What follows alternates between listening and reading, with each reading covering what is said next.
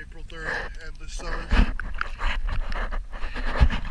installed a starboard side shaft sink and an R4 sink on the.